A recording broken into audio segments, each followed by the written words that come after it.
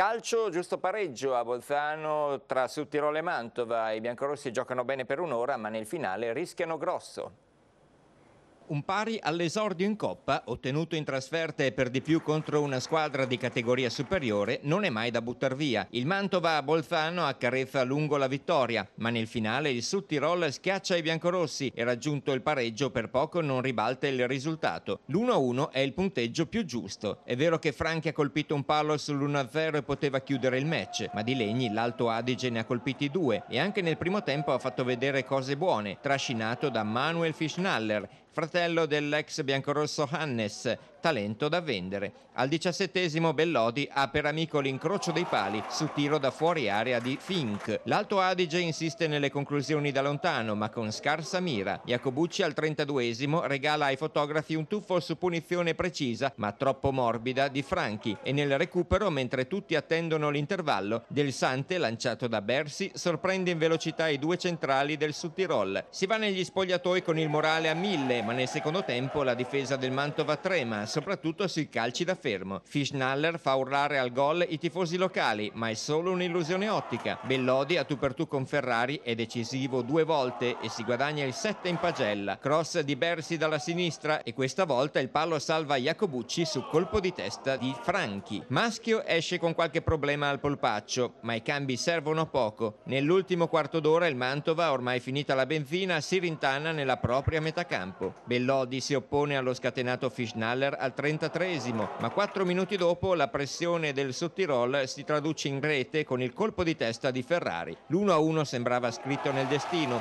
ma un attimo prima che l'arbitro fischi la fine, Cascone vuole mettere mano al copione un'ultima volta. La sua girata però si stampa sul palo. Il Mantova evita la beffa. Testa bassa e lavorare, la stagione è appena cominciata.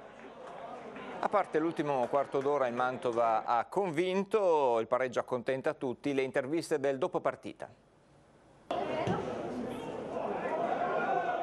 Io sono molto contento della prestazione fino al 75esimo, è stata secondo me ottima. Fino al 75esimo minuto abbiamo fatto molto molto bene e poi è saltata fuori la qualità di corsa e quella giocata che hanno fatto su un errore nostro, su una chiusura sull'esterno, dove a quel punto lì ho dovuto cambiare tre giocatori. Ma io credo che il pareggio sia giusto, perché loro diciamo che essendo categoria superiore e poi hanno secondo me una buona squadra.